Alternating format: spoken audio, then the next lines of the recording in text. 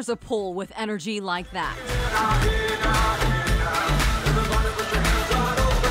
It demands your attention. Attention that Divya Maiya says she and two others weren't seeking when they began Bollywood dancing for fun years ago. But the community wanted more. We started off as teaching dance classes, and then we grew into doing theater, and then uh, we started producing a big um, Bollywood movie like shows for theater. A full blown nonprofit now called South Asian Arts and Theater House, or SAATH. And yeah, you heard right, they're more than just Bollywood. They're making films, hosting writing workshops, teaching yoga, all while teaching others about the South Asian community. So we want to break that down a little bit to say, hey, you know, I'm from Bangalore, I'm from south of India, and I speak uh, language called Kannada. And we have so many different people in our group and we can share that. SAATH now has upwards of 120 people. Some aren't South Asian who find community with them. I think it's given that sense of uh, family for people, you know, it's home away from home feeling.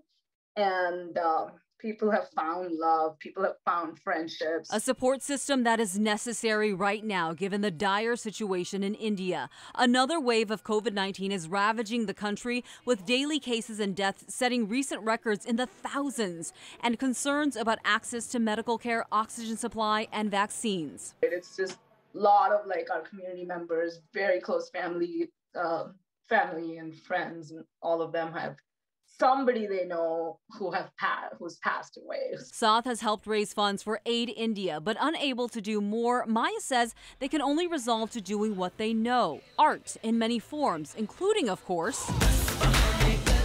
We dance it out for sure. We just wanted to hold that space for our community, for people who are, you know, going through this mental health aspect of it, going through, um, you know, family members suffering yeah, really tough there in India right now. So Maiya tells me they are working on a script for a show in 2021 exploring relationships between South Asians and black people. If you want more information about SAATH, find the story on kare11.com.